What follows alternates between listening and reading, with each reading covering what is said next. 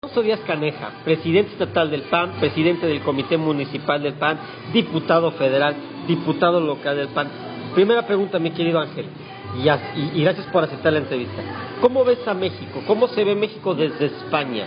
A nivel internacional, ¿cómo lo ven? Tú llevas cuatro años fuera, terminaste la senaduría en el 2012, te fuiste a España.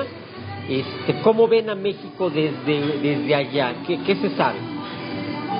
Yo lo dividiría dos aspectos, el político y el económico. Muchos me dirán que es lo mismo, pero allá lo ven diferente.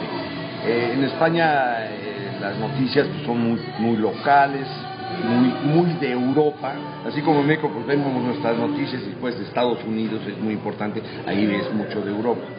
Y desafortunadamente de noticias de México pues, solo se dan pues, cuando hay grandes matanzas, eh, cuando hay algún temblor, o, o lo que te digo ahora, desafortunadamente, pues el caso de Trump, ¿no? El- el- en los noticieros de España no comprenden cómo después de todo lo que ha hecho eh, Trump o dicho en contra de México, que, que el presidente Peña lo haya invitado y después lo invita y todavía lo, lo patea al día siguiente. Eso fue noticia, gran noticia en España, porque así como no lo comprendemos muchos de los mexicanos, por lo menos yo y muchos que hemos hablado, pues los españoles tampoco. ¿A quién invita a alguien a tu casa para que te patee? Si sabes que te va a patear, pues no lo invites, no le abras la puerta. Y después por el lado económico, pues eh, también eh, se ve eh, algunas noticias, eh, sobre todo a lo que tiene importancia pues para la economía mundial, que son las devaluaciones, ¿no?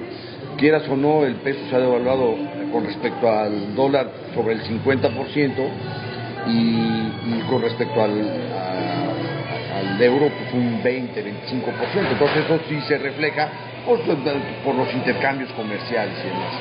Entonces, eso así es como se ven las cosas desde España.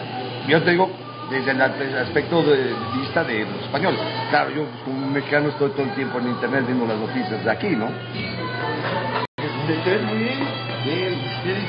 El pueblo es